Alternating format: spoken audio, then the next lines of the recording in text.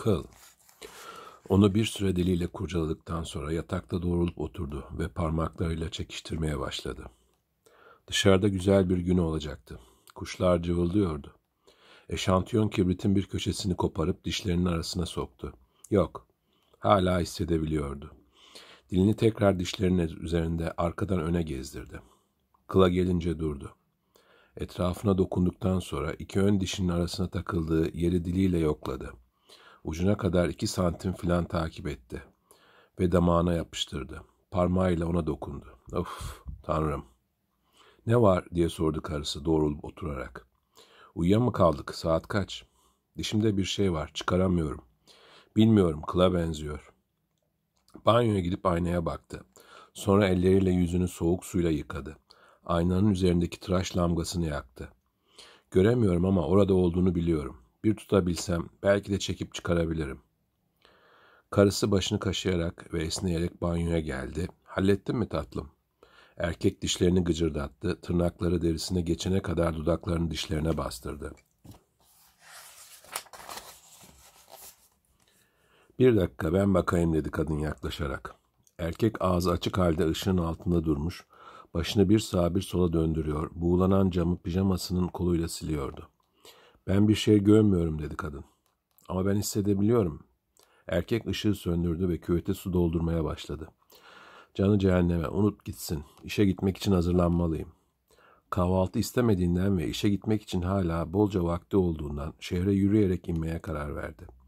Patrondan başka kimsede anahtar yoktu. Oraya çok erken giderse beklemek zorunda kalırdı. Normalde otobüse bindiği boş köşeyi döndü. Daha önce mahallede gördüğü bir köpek bacağını kaldırmış otobüs durağı levhasına işiyordu. Hey! Köpek işemeyi bırakıp koşarak ona doğru geldi. Tanımadığı başka bir köpek hızlı adımlarla geldi, levhayı kokladı ve işledi. Altın rengi çiş kaldırma akarken hafifçe buharı tutuyordu. Hey defol git buradan. Köpek birkaç damla daha fışkırttı. Sonra iki köpek de sokağın karşı tarafına geçti. Neredeyse gülüyor gibiydiler. Erkek kılı dişlerinin arasında bir ileri bir geri oynattı. Güzel bir gün değil mi ha diye sordu patron. Ön kapıyı açtı, storu kaldırdı. Herkes dönüp dışarıya baktı ve gülümseyerek başını salladı. Evet öyle efendim, güzel bir gün dedi birisi. Çalışılmayacak kadar güzel dedi başka birisi. Diğerleriyle birlikte güldü. Evet öyle öyle vallahi dedi patron. Islık çalarak anahtarlarını şıngırdatarak erkek çocuk giyimin kapısını açmak için merdivenden yukarı çıktı. Daha sonra erkek mola vererek bodrum katından yukarı çıkıp dinlenme salonunda sigara içtiği sırada üzerinde kısa kollu gömlek olan patron içeri girdi. Bugün hava sıcak değil mi? Evet öyle efendim. Patronun böyle kıllı kolları olduğunu daha önce hiç fark etmemişti. Oturup dişlerini karıştırdı. Patronun parmaklarının arasından tutam tutam fışkıran siyah kıllara gözlerini dikip baktı. Efendim, şey diyecektim. İzin vermezseniz sorun değil tabii ama eğer verirseniz kimseyi sıkıntıya sokmasam yani. Eve gitmek istiyorum. Kendimi pek iyi hissetmiyorum da. Hmm, e, idare edebiliriz tabii. Konu bu değil tabii. Kolasını uzun uzun içti, ona bakmaya devam etti. Peki öyleyse sorun değil efendim, idare ederim. Sadece merak etmiştim. Hayır hayır sorun değil, sen eve git. Bu akşam beni ara, nasıl olduğunu söyle. Saatine baktı, kolasını bitirdi. 10.25, 10.30 de. Haydi eve git, 10.30 deriz.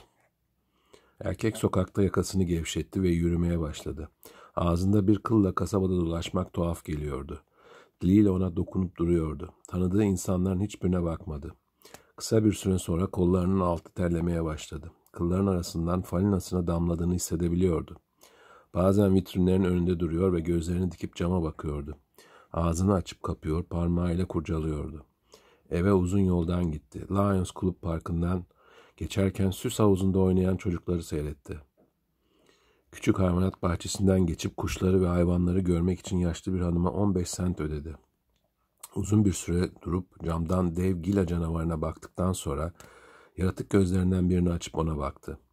Erkek geri geri camdan uzaklaştı ve eve gitme zamanı gelene kadar parkta dolaşmaya devam etti. Çok aç değildi. Akşam yemeğinde sadece biraz kahve içti, birkaç kez yutkunduktan sonra dilini yeniden kılın üzerinde gezdirdi. Sofradan kalktı. Tatlım ne var diye sordu karısı. Nereye gidiyorsun? Sanırım yatacağım. Kendimi pek hissetmiyorum. Kadın onun peşinden yatak odasına gitti. Soyunurken onu seyretti. Sana bir şey getireyim mi? Acaba doktor mu arasam? Keşke ne olduğunu bilseydim. Sorun değil, iyi olacağım. Örtüyü omuzlarının üzerine çekti ve bir tarafı dönüp gözlerini kapadı. Kadın storu çekti. Mutfağı biraz toparlayayım sonra yine gelirim. Sırf gerinmek bile iyi geldi. Erkek yüzüne dokundu ve ateşinin çıkmış olabileceğini düşündü. Dudaklarını yalayıp kılın ucuna diliyle dokundu. Ürperdi. Birkaç dakika sonra uyuklamaya başladı ama birden uyandı ve patronu arayacağını hatırladı. Yavaşça yataktan çıkıp mutfağa gitti. Karısı kurutmalığın başında bulaşık yıkıyordu. Uyuduğunu sanıyordum tatlım. Kendini daha iyi hissediyor musun? Erkek başını salladı. Telefonu eline alıp danışmanı aradı. Numarayı çevirirken ağzından kötü bir tat geldi. Alo, evet efendim. Sanırım daha iyiyim. Yarın işe geleceğimi haber vermek istedim. Tabii, tam sekiz buçukta. Yatağa geri döndü. Dilini yeniden dişlerinin üzerine sürttü. Belki de alışabileceği bir şeydi. Bilmiyordu. Uyumadan önce neredeyse onu düşünmeyi bırakmıştı. Ne kadar sıcak bir gün olduğunu ve suyun içinde yürüyen çocukları hatırladı. O sabah kuşlar nasıl da cıvıldamıştı. Ama gece bir kez çığlık atıp ter içinde uyandı. Az kalsın tıkanıyordu. Hayır hayır deyip duruyordu. Ayaklarıyla örtüyü tekmeleyerek. Karısını korkuttu. Kadın ne olduğunu anlamadı.